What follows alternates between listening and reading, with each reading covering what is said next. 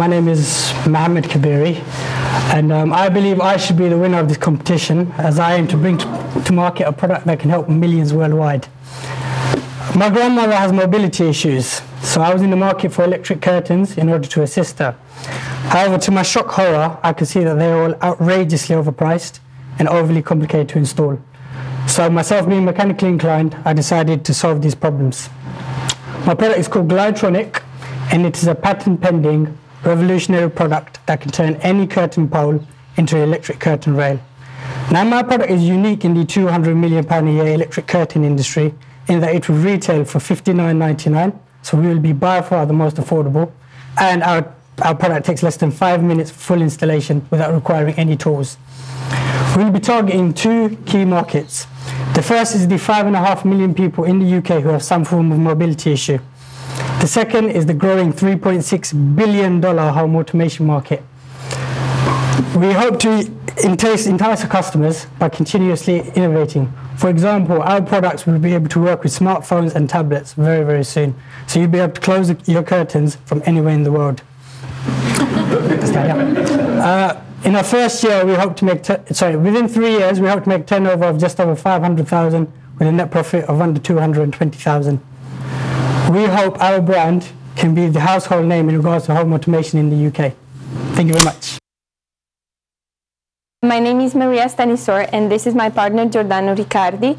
Uh, sharing a background in business studies and an interest in agriculture and organic products, and seeing the increased demand uh, for such goods, we came up with the idea of starting the International Snail Farm, a free range snail farm based in Romania. The farm will be 100% organic, uh, providing live snails retailed mostly to the Italian market, where there is a high demand for such products. Um, in order to establish long-term trustworthy relationships with our customers, uh, we guarantee good value for money products. Snail, uh, snail meat is a very good source of protein, uh, having very low levels of cholesterol and uh, unsaturated fat, thus making it a very um, healthy alternative to traditional meat dishes. So as Maria said, we are aiming to the Italian market. That's why, because uh, um, in the last 15 years, the consumption of snail rose from 10,000 tons to 40,000 tons per year. But the internal pro uh, production has been able to cover only 35% of the demand, leaving a lot of opportunities for a foreign exporter like us.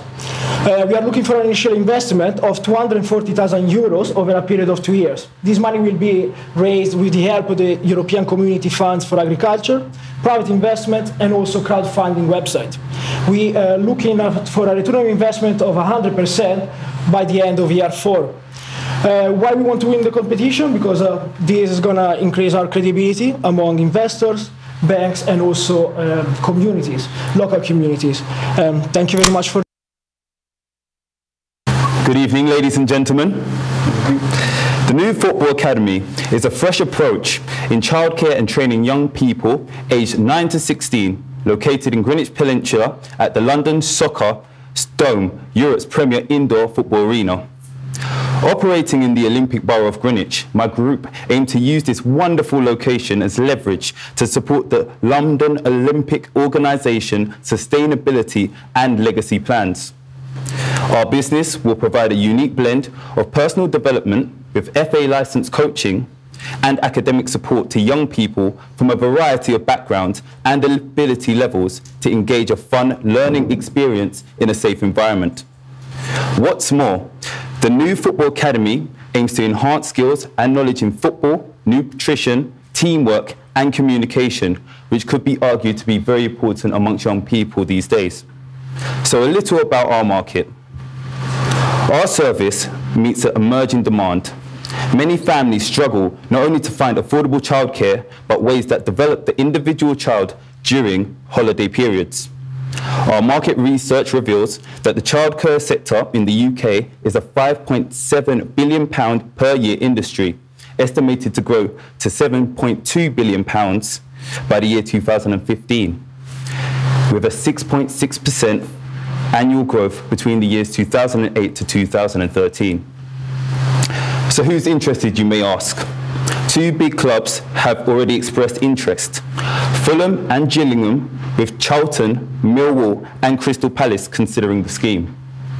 Our unique mix of a passion for football, development in young people with an injection of academic support, nutrition, and a zest for a healthy lifestyle creates a sustainable competitive advantage and makes us a serious contender for your support.